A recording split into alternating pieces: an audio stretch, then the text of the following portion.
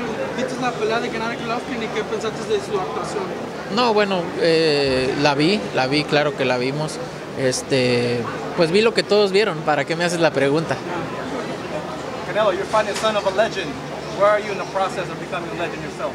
No, obviamente desde que empecé este deporte estoy en el proceso de ser una, le- una leyenda de, desde abajo, desde no tener nada hasta donde estoy. Obviamente me falta mucho por hacer, pero estoy en el proceso, en el proceso de ser una leyenda. Yeah, since I've started, I've been building up my legendary status, and I am still building up my legendary status. You know, that's what it's been since the beginning. Are you going to shave your beard when you fight or are you going to keep it? No, you, you guys. If you get a, a victory, can you move? Can you Can move? you- Can you move back?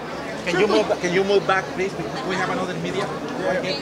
Triple G didn't look good his last fight, and everybody tells me you beat him easy. You agree?